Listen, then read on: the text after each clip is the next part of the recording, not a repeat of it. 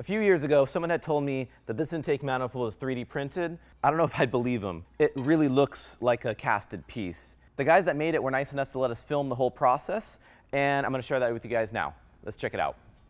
The place that did the printing for us is called Mimotechnik in Carson, California. Inside this office building is this crazy printer called an SLM 500. They actually have a couple of them. One set up for aluminum, like what we used, and another one set up for Inconel alloys, high temperature nickel that they use for exhaust manifold collectors, headers, and other automotive parts and aerospace stuff as well.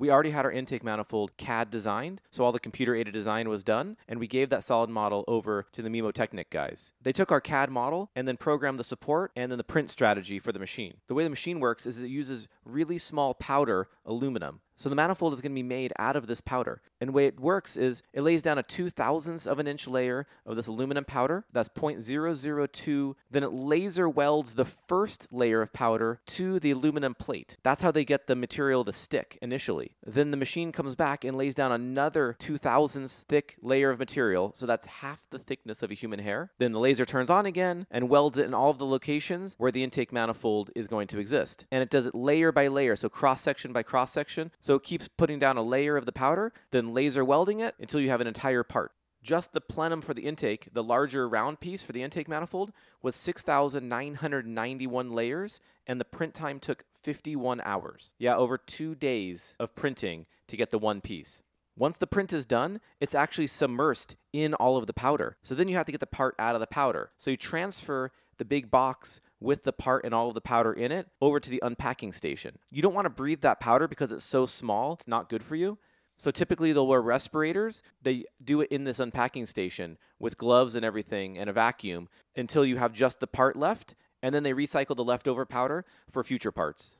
So after it prints each layer, the platform goes down that two thousandths of an inch until the whole box is filled with your part and the powder. In the unpacking station, it goes the other way. The plate will come up and then start exposing the part, and you can see all the powder falling off of it. And then after a few hours of dusting the whole part off and vacuuming everything up, then you've got your part left and it's safe to handle, but it's not ready to be used yet. Because it's actually welded with all of the support, that's what you see are those like what looks, what looks like cascades of aluminum coming down. The parts actually have to be cut off of the plate because they're welded on right now. But once it's cut off, then it's actually relatively straightforward to clean it up and get it ready to be welded together. The support breaks off relatively easy with just some pliers and then goes and gets recycled.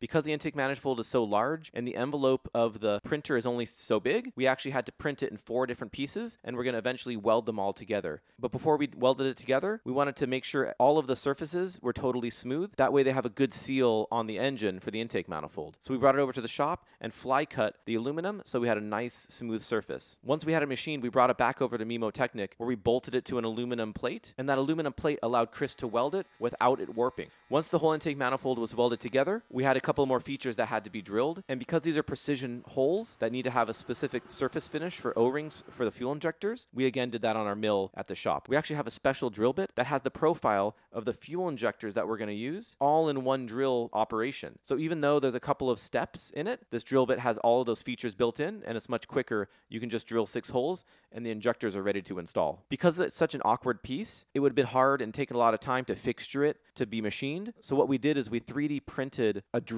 guide and we put these steel inserts into the 3D printed part. That way when we drilled the holes before we tapped it, they would be straight. Because it's really hard sometimes to drill holes straight. And then we also have this tap guide. That way the bolt can bolt in straight. We then put our Injector Dynamics 2000 cc injectors into the fuel rail and bolted it all together. The factory engine in this car only has direct injection, which is a really good system. But for the horsepower we plan to make, we needed to run six additional injectors. And that's one of the reasons why we built this intake manifold. And the reason we 3D printed it was because we needed it so quickly. The 3D printing was something definitely expensive, but well worth it because of the time savings. And there you have it.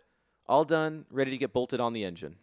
This intake manifold is part of a bigger project where we're trying to take this 2020 Supra engine and make a 1,000 horsepower with it. We've got a few other videos where we do a full teardown and then we show all of the parts that we're changing in it and also the full assembly of the engine. I'll link to those videos in the description down below. If you enjoyed the video, please hit the like button. If you want to see more, please consider subscribing. See you in the next video. Thank you.